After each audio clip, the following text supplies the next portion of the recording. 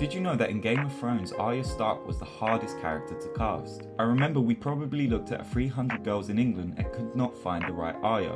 We just couldn't cast her. They found Maisie Williams while going through audition videos in a Moroccan hotel lobby with bad Wi-Fi, and selected her video based on a small thumbnail that looked promising.